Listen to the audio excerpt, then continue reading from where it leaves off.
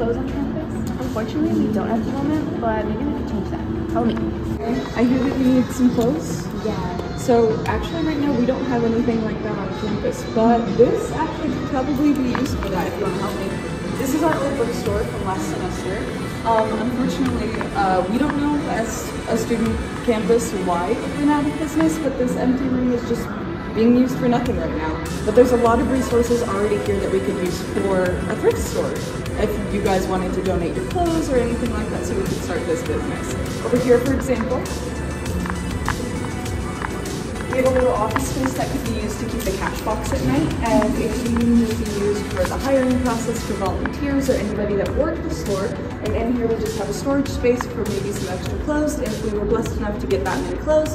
Or we could even use it for a laundry service so we can take in dirty clothes and clean them before we have to give them away. That's a great idea.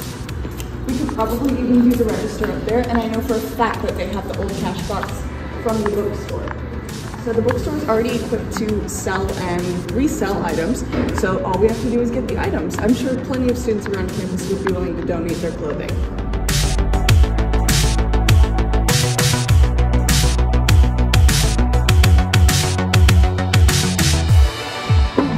So now that we've established a space for it to be in, what else do we maybe need? I know we need the clothes, but those can be taken by donation. We need hangers and we need uh, clothing racks as well. That's right, and I think the cost of those, um, I know the theater club has some clothing racks that we're looking to give away actually, so we could use some of those. Um, clothing hangers, we could take a fund of maybe like a hundred and get a plenty, plenty of hangers, just like the plastic ones from Walmart. Um, we might need a washer and a dryer. Yeah. Clean the clothes as they come in. That would be about 500, Uh, let's see. What else do we need? We plus like the cash box. detergents. We have the cash box Oh, because okay. they have the one from the old bookstore. Um, I think just the clothing racks, the hangers, the washer and dryer, and you know some detergent and stuff like that.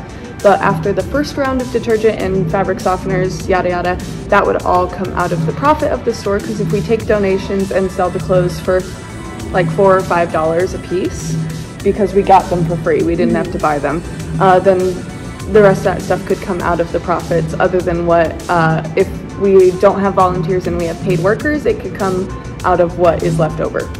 I think we're all set other than that. Yeah, and the only thing to add is just um, detergent for the washing. Yeah. You can't just use water. yeah, the first round of that would be purchased with um, the fund that we would receive, and then whatever comes after that would just come out of whatever we earn from selling the clothing. Yeah. Yeah, I think that sounds like a great idea for AWC. Thank you for watching our video. In conclusion, the total amount of money would be less than $4,000, which includes washing machine, detergent, racks, hangers, and all the setup we would need for the store. It would require a lot of student body help, but I've seen a lot with Andale's Pantry doing contests to see which club could donate the most food. I'm sure we could do something like that to donate clothes. And I know a lot of mainstream businesses around here like JCPenney and Dillard's, when their clearance clothing goes off of clearance, it really has nowhere to go. And they used to donate their clothes to Goodwill.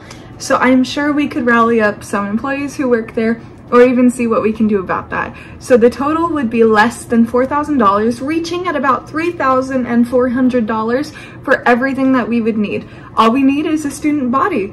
This presentation has been brought to you by Angel Young, Natalie Rodriguez, and Samantha Plante.